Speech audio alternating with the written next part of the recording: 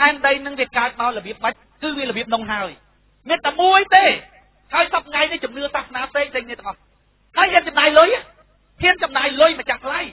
ចំណាយលុយចំណាយកាក់ទៅតាមជំនឿរបស់គេហើយរឿងពិតវាមួយណាប្រពុតទៅតាមផ្លូវហ្នឹងប្រពុតទៅរករឿងពិតដល់ពេលឃើញរឿងពិតហើយមិនមែនយករឿងពិតមកប្រាប់គេទេប្រាប់អំពីដំណើរថាតើត្រូវធ្វើម៉េចឲ្យឃើញឃើញដោយបច្ចុប្បន្នញាណឃើញដោយខ្លួនឯងត្មង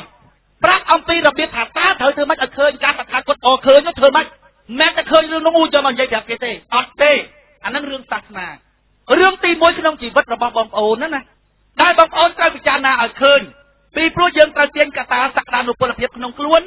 ដើម្បីសិក្សាពីច្បាប់ធម្មជាតិរួចហើយទាញយកពីការយល់ច្បាប់ធម្មជាតិហ្នឹងមកកសាងវាសនារបស់ខ្លួនវិញវើក្នុងវត្តដាក់ប្រើកតាសក្តានុពលភាពក្នុងខ្លួនសិក្សាច្បាប់ធម្មជាតិកាលណាអ្នកយល់ពីច្បាប់ធម្មជាតិអ្នកទាញប្រយោជន៍ពីការយល់នេះយកមកកសាងវាសនារបស់ខ្លួនវិញ ទី1អ្នកត្រូវពិចារណាឃើញថារឿងពិតក្នុងលោកមានតែមួយទេបងប្អូនស្គាល់រឿងពិតមានមួយទេថ្ងៃក្រោយយើងឈប់និយាយគ្នានិយាយតែម្ដងណាអូម៉ាថាកៅអីនិយាយគ្នាម្ដងអាចារ្យបើខ្ញុំនិយាយថានេះកៅអីណាបងប្អូនស្របគ្នាហើយអានឹងកៅអីថ្ងៃក្រោយឲ្យតែនិយាយថាអត់មានកៅអីអង្គុយផងដឹងតែខ្ញុំចង់និយាយតែហ្នឹងបងប្អូនមកនិយាយប្រាប់ខ្ញុំក៏ចឹងដែរអូកៅអីដែលរៀបចំថ្ងៃមុនហ្នឹងគេយកទៅបាត់ហើយយើងទាំងអស់គ្នាត្រូវស្របថាកៅអីគឺអានឹងឲ្យច្បាស់លាស់ទាំងអស់គ្នាដូចគ្នាជាមួយនឹងសេចក្តីពិតមានតែមួយ ថ្ងៃហ្នឹងយើងនិយាយគ្នាថ្ងៃក្រោយឈប់និយាយទៀតរឿងពិតណាបងប្អូនត្រូវពិចារណាដល់ខ្លួនឯងរឿងពិតវាមួយក្នុងលោកនេះផ្លូវរបស់ព្រះណាចាប់ដើមចេញដំណើរប្រើខួរក្បាលដើម្បីគិតបាត់ធម្មជាតិរឿងពិតក្នុងលោកនេះមានតែមួយទេរឿងពិតបើផែនដីនេះព្រះយេស៊ូវអ្នកបង្កើតពិតជាព្រះយេស៊ូវអ្នកបង្កើតប៉ុន្តែព្រះមូស្លីមគេថាគេបង្កើតផែនដីដែរអញ្ចឹងមានន័យថាក្នុងចំណោមពីរអ្នកហ្នឹងមានពីណាមួយភូតឬមួយភូតទាំងពីររឿងពិតនៅណាមកចិត្តនៅមើលបើមិនចាស់ឥឡូវបើបងប្អូន មិនយល់ថារឿងពិតមានមួយណាផឹកមាញ់នេះបងប្អូនណាចូលមុនបងប្អូនណាចូលក្រោយខ្ញុំនិយាយធ្វើដៃយ៉ាងម៉េចខ្លះយ៉ាងម៉េចខ្លះបងប្អូនដាក់កាមេរ៉ាកុំថាដាក់មួយដាក់កាមេរ៉ា10ទៅដាក់កាមេរ៉ា10មកហត់ទៅរួចហើយយកទៅប្រចាំវិញបើអូននោះវានិយាយថាកាលពីប្រជុំការពិតខ្ញុំអង្គុយមុខគេដល់ពេលគេយកទៅប្រចាំងាប់ការពិតឯងអង្គុយកណ្ដាលទេមានអង្គុយមុខគេទេពេលដែលបងវាសនានិយាយចេះខ្ញុំសើចដល់ពេលគេប្រចាំមើលបងវាសនានិយាយដល់ពេលហ្នឹងឯងពេបមាត់ទេទាំងអស់ហ្នឹង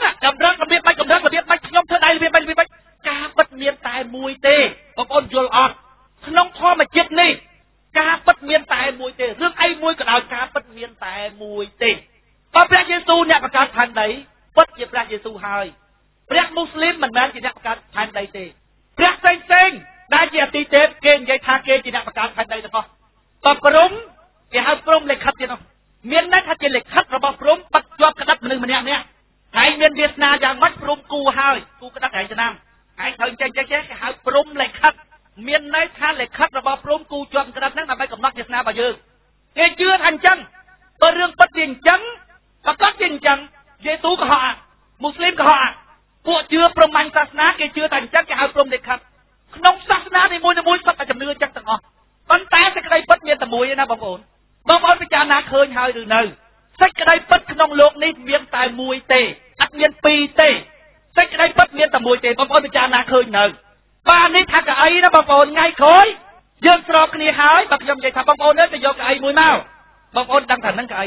បើថ្ងៃក្រោយខ្ញុំនិយាយថាការពិតមានតែមួយបងប្អូនដឹងហ្មង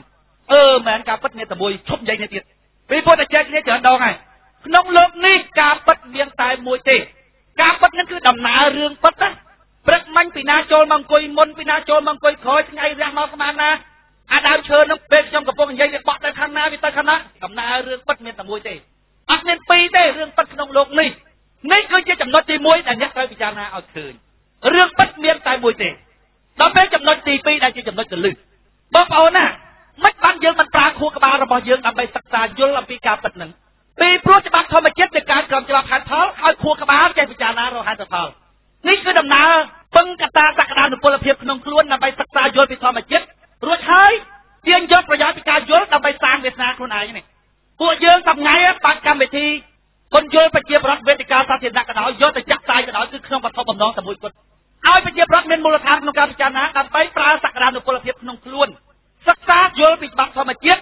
រួចហើយទាញប្រយោជន៍ពីការយល់នេះយកមកកសាងវាសនាខ្លួនឯងដោយចំណាប់ដៃរបស់ខ្លួនឯងចំណុចទី2ដែលបងប្អូនត្រូវយល់ ហេតុអីបានជាបងប្អូនមិន ប្រើខួរក្បាលរបស់ខ្លួន សិក្សារកការពិតហ្នឹងហេតុអីបានជាបងប្អូនត្រូវជឿបងប្អូនបងប្អូនណាការជឿណាដែលបងប្អូនអត់ប្រើខួរក្បាលរបស់បងប្អូនពិចារណារកការពិតណាស្តៀងបងប្អូនកើតមកកបត់ដៃហើយកបត់ជើងបងប្អូនដែលឃើញមនុស្សកបត់ដៃកបត់ជើងគេដាក់នៅកន្លែងណាបងប្អូនណាស្មើគេដាក់របស់នៅកន្លែងនោះដាក់ផ្ញាច់នៅកន្លែងហ្នឹងនៅកន្លែងហ្នឹងហើយណារួចបោកដៃអត់ជើងផងអង្គុយកន្លែងហ្នឹងទៅមកទៅដេកនៅកន្លែងហ្នឹងមកទៅឯងកុំកើតណា មនុស្សដែលជឿនៅក្នុងសាសនានីមួយនីមួយរួចហើយមិនព្រមស្វែងយល់រកការពិតទៅទៀងមនុស្សកបត់ដៃកបត់ជើងគេយកដាក់កន្លែងណាកន្លែងនោះហ្មងបងប្អូនពិចារណាមើលបងប្អូនកើតនៅក្នុងសាសនាពុទ្ធកាន់សាសនាពុទ្ធនឹងហ្មងហើយដែលរឿងពិតមានតែមួយតិចខុសបងប្អូនតិចខុសតិចយេស៊ូត្រូវទៅតិចមូស្លីមត្រូវទៅឧទាហរណ៍ថាបងប្អូនកើតមកបានតែ2 3ខែម៉ែបងប្អូនក្រស្រាប់តែពួកមូស្លីមឯណោះគ្រួសារគេមាន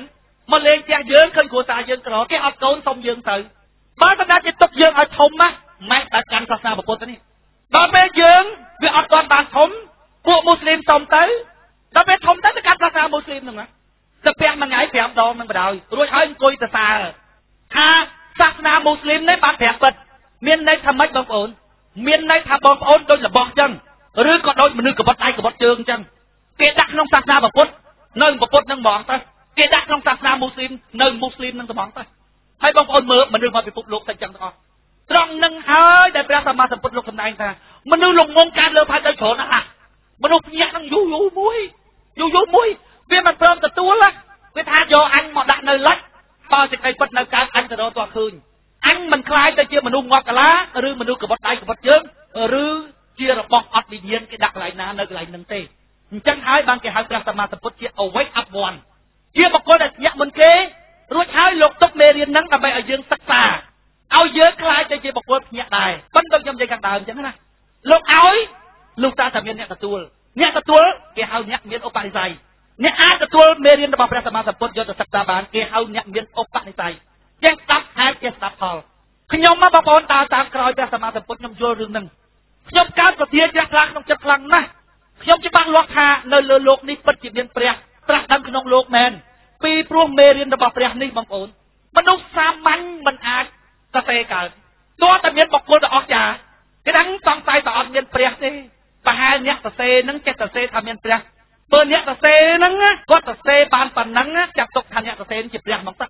ពីព្រោះវាអស្ចារ្យពេកណាបងប្អូនពិតជាមានព្រះសម្មាសម្ពុទ្ធត្រាស់ដឹងមែនហើយដល់ពេលយើងដើរតាមលំអានរបស់ព្រះអង្គតែឃើញសេចក្តីពិតពលត្រូវដោយបច្ចវេកណញ្ញាណមែន ដែលខ្ញុំចង់ឲ្យបងប្អូនប្រើខួរក្បាលរបស់បងប្អូនដើម្បីសិក្សារកការពិតដែលមានតែមួយនោះណាពីព្រោះខ្ញុំអត់ចង់ឲ្យបងប្អូនខ្លាយទៅជាមនុស្សងាប់កាឡាប៉ិនដូចខ្ញុំនិយាយខាងដើមអញ្ចឹងណាខ្ញុំអាចជួយបានតែបុគ្គលដែលភ្ញាក់ឯណាដែលខ្ញុំចង់ឲ្យបងប្អូនប្រើខួរក្បាលរបស់បងប្អូនដើម្បីសិក្សារកការពិតដែលមានតែមួយនោះណាពីព្រោះខ្ញុំអត់ចង់ឲ្យបងប្អូនខ្លាយទៅជាមនុស្សងាប់កាឡាប៉ិនដូចខ្ញុំនិយាយខាងដើមអញ្ចឹងណាខ្ញុំអាចជួយបានតែបុគ្គលដែលមានដំណើរជាមនុស្សភ្ញាក់ បើបងប្អូនមានដំណើរជាមនុស្សល្ងឹតឲ្យទៅតាមតម្លៃទៅទៅគេហៅថាម៉េចអាហោសកម្មមកទៀតទៅព្រះក៏ជួយបានផងប៉ុន្តែជាដំណើររបស់ព្រះសម្មាសម្ពុទ្ធដែលលោកដើរមុនយើងរួចហើយលោកទុកដំណើរហ្នឹងឲ្យយើងដើរហើយខ្ញុំធ្លាប់ដើរផ្លូវហ្នឹងខ្ញុំបានពណ៌សេចក្តីពិតដល់ពេលពណ៌សេចក្តីពិតខ្ញុំអាណិតបងប្អូនដែលមានឧបនិស្ស័យជាអ្នកអាចភ្ញាក់បានចង់ផ្ដល់ឱកាសឲ្យបងប្អូនអញ្ចឹងបានខ្ញុំប្រាប់ថាបងប្អូនណាបើសេចក្តីពិតមានតែមួយ ចុះហេតុអ្វីបានបងប្អូនខ្លាចទៅជាមនុស្សងាប់កាឡាដូចមនុស្សក្បត់ដៃក្បត់ជើងដូចរបស់មួយអត់វិញ្ញាណគេដាក់កន្លែងណានៅកន្លែងហ្នឹងបើកើតមកក្នុងសាសនាពុទ្ធលេងតែថាធំទៅអង្គុយសរសើរថាពុទ្ធនឹងពិតហ្មងសាសនារបស់យើងល្អហើយធ្វើកថាទៅលុយ10000 20000ដុល្លារអត់ស្ដាយទេអាគេអ្នកមានធ្វើអីទេបងប្អូនអាយើងអ្នកក្រនេះប្រឹងធ្វើដូចបានឃើញពីថ្ងៃណាអញ្ចឹងជឿនោះជឿធ្វើដូចបានឃើញអញ្ចឹងធានចំណាយលុយតែខួរក្បាលរបស់យើងអាចសិក្សាពីការពិតបានសោះហ្នឹងហើយហេតុអី អញ្ចឹងបានខ្ញុំចង់ប្រាប់អ្នកដែលមានឧបនិស្ស័យថាចុះហេតុអ្វីបានអ្នកព្រមខ្លាចខ្លួនទៅជាមនុស្សងាប់កាឡាគេដាក់កន្លែងណានៅកន្លែងហ្នឹងបងប្អូនមិនឃើញកូននាងជូលី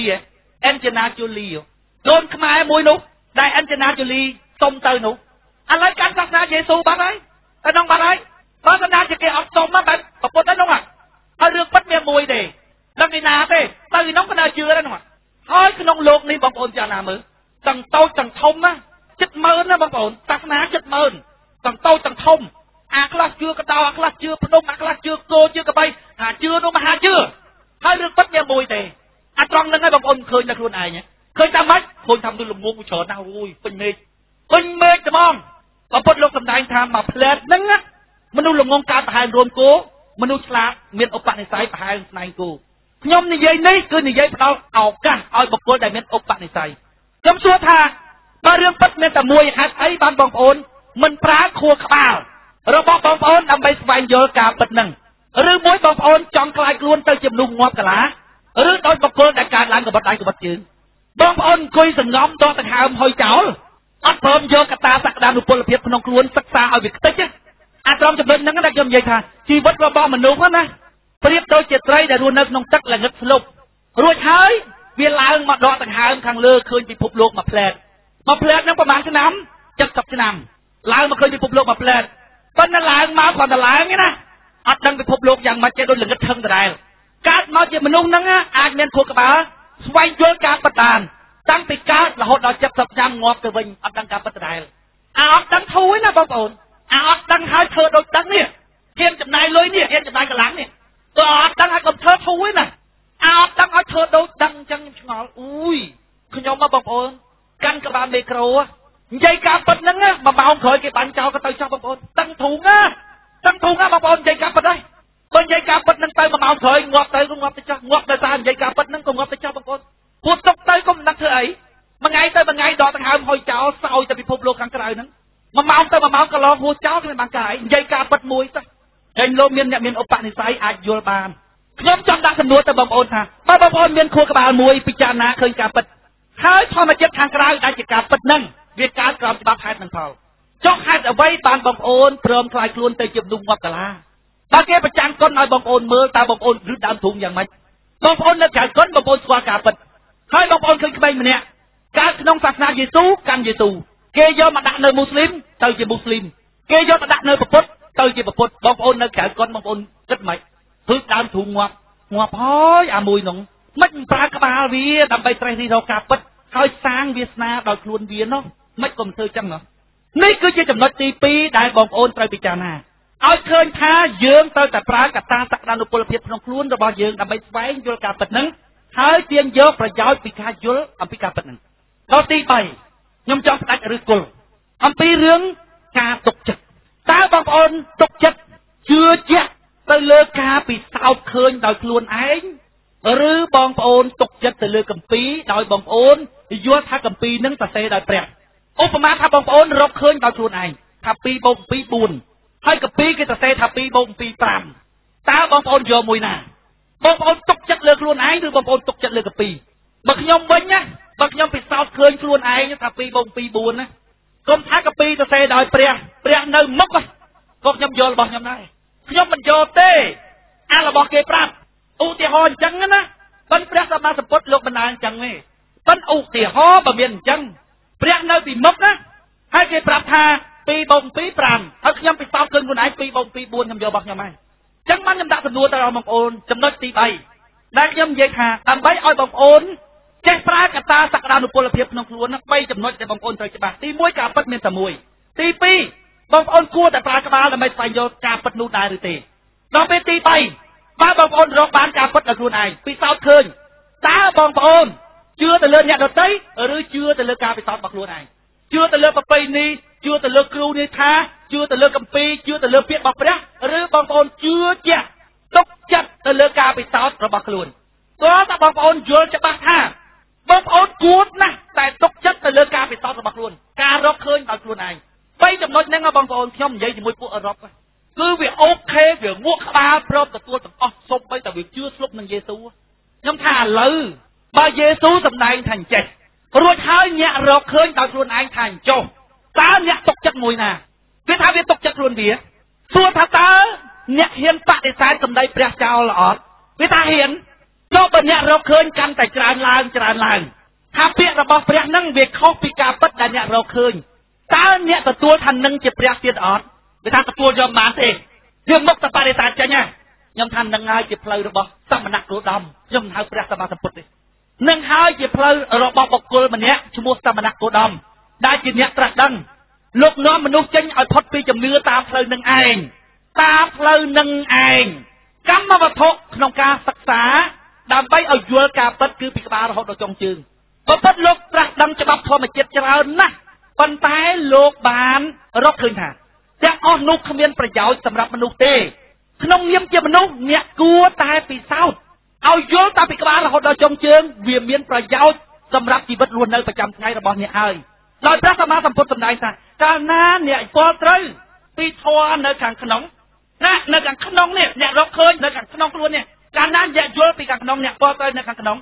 អ្នកនឹងយល់ច្បាប់ធម្មជាតិនៅខាងក្រៅក៏ដូចតែគ្នាព្រះសម្មាសម្ពុទ្ធត្រាស់ដឹងធម៌ច្រើនណាស់អានឡននើយ តថាគតត្រាស់ដឹងធម៌ច្រើនណាស់ដូចស្លឹកឈើនៅក្នុងព្រៃអញ្ចឹងប៉ុន្តែតថាគតយល់ថាវាគ្មានប្រយោជន៍សម្រាប់មនុស្សទេធម៌ខ្លះមានប្រយោជន៍សម្រាប់អណ្ដើកធម៌ខ្លះទៀតមានប្រយោជន៍សម្រាប់គោធម៌ខ្លះទៀតមានប្រយោជន៍សម្រាប់កបីចាំតថាគតទៅសម្ដែងជាមួយកបីចាំតថាគតសម្ដែងធម៌នោះតែសម្រាប់មនុស្សលោកតថាគតគិតឃើញថាសម្ដែងតែពីក្បាលរហូតដល់ចុងជើងវាគ្រប់គ្រាន់ហើយពីព្រោះអណ្ដើកមិនចាំបាច់ដឹងរឿងឡានរឿងម៉ូតូទេពីព្រោះអណ្ដើកនៅតែក្នុងទឹកទេ ត្រីក៏នៅតែក្នុងទឹកដែរត្រីមិនដែលបើកឡានបើកម៉ូតូទេដូច្នេះមិនគួរសិក្សាពីឡានពីម៉ូតូទេវាអត់ប្រយោជន៍សម្រាប់ត្រីទេចាំសម្រាប់គោសម្រាប់កបីអានឹងវារស់នៅដើរកាត់ថ្នល់កាត់អីវាគួរតែដឹងរឿងឡានឬម៉ូតូដែរប្រយ័ត្នគេបុកដល់ពេលទៅសិក្សាពីរឿងសត្វហើអានឹងសិក្សារឿងកប៉ាល់ហោះខ្លះទៅខ្លាចបុកគេព្រះសម្មាសម្ពុទ្ធលោកត្រាស់ដឹងធម៌ច្រើនណាស់រួចហើយលោកកាត់កងឲ្យយើងឲ្យសិក្សាយល់ពីច្បាប់ធម្មជាតិខាងក្នុងខ្លួនរបស់យើង កាលណាយើងយល់ច្បាប់ធម្មជាតិខាងក្នុងយើងយល់ច្បាប់ធម្មជាតិខាងក្រៅវាដូចគ្នាកាលណាយើងយល់ច្បាប់ធម្មជាតិទាំងក្នុងទាំងក្រៅពិភពលោកត្រូវបានបើកបង្ហាញដោយសច្ចៈកាលណាអ្នកយល់ពីសច្ចៈមានន័យថាអ្នកមានភ្នែកភ្លឺកាលណាអ្នកមានភ្នែកភ្លឺអ្នកដើរទៅអ្នកអត់បុកអីទេកាលណាអ្នកអត់យល់ប្រៀបដូចជាអ្នកយកកណាត់ចងមុខអញ្ចឹងរួចហើយអ្នកដើរទៅ1000ដងមានគ្រោះថ្នាក់មិនទាន់បានຕົកម្ដងផងអញ្ចឹងបានគេប្រើពាក្យថាព្រះសម្មាសម្ពុទ្ធជាបុគ្គលដែលបានបើកផ្ងាឡើងនៅរបស់ដែលកាត់ពីយូរមកហើយលោកបញ្យល់ឲ្យយើងយល់រួចហើយលោកផ្ដល់ មេរៀនជាបច្ចេកទេសដើម្បីពិសោធន៍ដើម្បីឲ្យយើងពាល់ត្រូវមួយយល់គេហៅបរិយ័តមួយទៀតពាល់ត្រូវគេហៅបដិបត្តិយល់ហើយនឹងពាល់ត្រូវទៅលើធម៌អីថាធម៌ពីក្បាលរហូតដល់ចុងជើងពីព្រោះកាលណាអ្នកយល់ពិភពលោកខាងក្នុងអ្នកនឹងយល់ពិភពលោកខាងក្រៅកាលណាអ្នកយល់ពិភពលោកខាងក្នុងនិងខាងក្រៅបានច្បាស់លាស់មានន័យថាអ្នកយល់ពីដំណើរធម្មជាតិអ្នកយល់ពីដំណើរធម្មៈឬអ្នកយល់ពីដំណើរធម៌កាលណាអ្នកយល់ពីដំណើរធម៌អ្នកមានភ្នែកភ្លឺ អ្នកមានសទ្ធាជ្រះថ្លាមិនមែនជំនឿទេសទ្ធាជ្រះថ្លាកាលណាអ្នកមានសទ្ធាជ្រះថ្លាអ្នកអនុវត្តទៅបានជាប្រយោជន៍សម្រាប់ជីវិតរស់នៅប្រចាំថ្ងៃរបស់យើងអញ្ចឹងបានជាខ្ញុំនិយាយថាការផ្ដល់មូលដ្ឋានក្នុងការត្រេះរិះពិចារណាដើម្បីឲ្យបងប្អូនប្រើកតាសក្តានុពលភាពក្នុងខ្លួនសិក្សាស្វែងយល់អំពីដំណើរធម្មៈឬដំណើររបស់ធម្មជាតិឬដំណើររបស់ធម៌ដើម្បីទាញយកប្រយោជន៍ពីការយល់នោះមកសាងវាសនារបស់ខ្លួនដោយខ្លួនឯងឥឡូវបើបងប្អូនយល់ចំណុច3នឹងហើយទី1 រឿងពិតមានតែមួយ ទី2យើងគួរតែប្រើក្បាលរបស់ខ្លួនយើងដើម្បីយល់ការពិតនោះ ទី3បើការពិតនោះត្រូវបានពិសោធន៍ឃើញដោយខ្លួនយើងយើងត្រូវតែទុកចិត្តលើការពិសោធន៍របស់យើងជាងអ្វីទាំងអស់បើបងប្អូនបានចំណុច3នឹងច្បាស់លាស់ហើយឥឡូវចាប់ដើមយល់ពីធម៌ធម៌ដែលព្រះសម្មាសម្ពុទ្ធលោកប្រាប់ថាមនុស្សគួរតែយល់គឺពីក្បាលរហូតដល់ចុងជើងកាលណាបងប្អូនយល់ពីក្បាលរហូតដល់ចុងជើងមួយនេះណាបងប្អូនបងប្អូនជ្រះស្រឡះតាំងពីឥឡូវពីឥឡូវនឹងមានន័យថាពីបច្ចុប្បន្ន រហូតទៅដល់ប្រាក់លោកច្បាស់ទាំងអស់ដល់ពេលបងប្អូនច្បាស់ទាំងអស់បងប្អូនអាចរៀបចំជីវិតរបស់បងប្អូនតាំងពីឥឡូវរហូតទៅដល់ជីវិតប្រាក់លោកទៀតពីព្រោះបងប្អូនច្បាស់ដំណើរនៃការគុំដំណើរនៃការបែកធ្លាយនិងដំណើរនៃការគុំសាសជាថ្មីកាលណាបងប្អូនច្បាស់ក្នុងដំណើរនឹងហើយបងប្អូនអាចធ្វើជាប្រយោជន៍ក្នុងចិត្តនេះផងនិងធ្វើជាប្រយោជន៍ក្នុងប